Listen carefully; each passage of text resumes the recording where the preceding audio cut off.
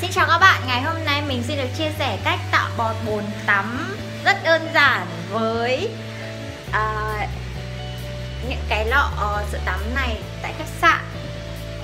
Thì các bạn nhìn này đây là thành phẩm của mình mới này. Rất đơn giản thôi các bạn ạ. Chỉ cần để cái lọ sữa tắm trực tiếp vào cái vô như thế này này. Nước càng mạnh càng tốt nha các bạn.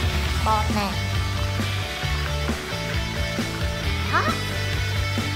Thôi các bạn sống ảo nha. Đây, một chậu bọt siêu to hùng đùng